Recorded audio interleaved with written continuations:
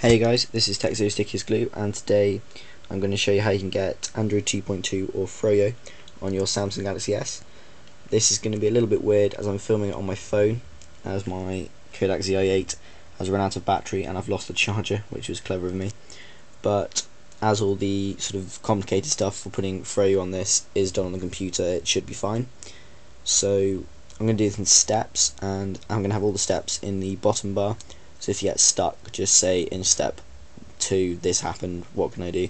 And I can try and help you from there. Um, so step one is to download Samsung Kies, which you can't quite see because the autofocus, but it's this one here. And you need to run that. There'll be a link in the bottom bar for it. You need to install that and run it once, and then just close it. Um, that's purely to get the drivers working so it can detect the phone for later steps. So when you've done step one, you need to do step two which is to download this file which again there'll be a link to in the bottom bar. And when you've downloaded it you need to extract it which we're going to call step three. Just by right click extract and you should get this folder. And you need to open that. And step four is to double click on the Odin logo or little Odin app and it'll open this little thing up and then step 5 is just to configure this for flashing the phone. So you need to repartition. You then need to go over to pit. Select file.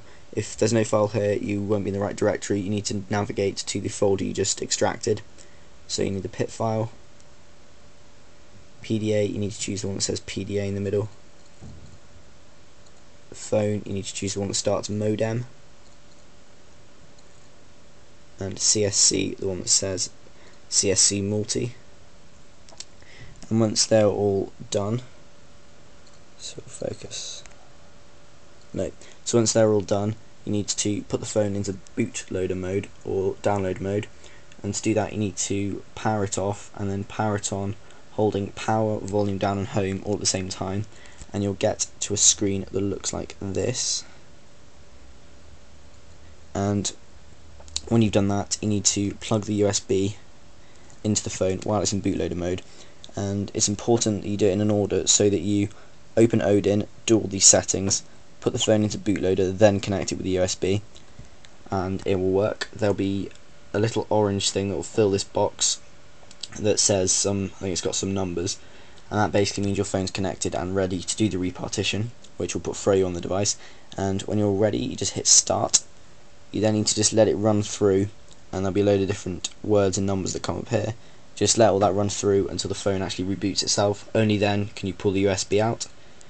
You will then have to wait when it boots into recovery and it might take another five minutes just sort of installing itself on the phone and it will then reboot and you will then be running a nice new Froyo 2.2 build on your Galaxy S. So I apologise for the filming of this guys. Really silly of me but I just completely don't know where I've got the charger just completely lost it.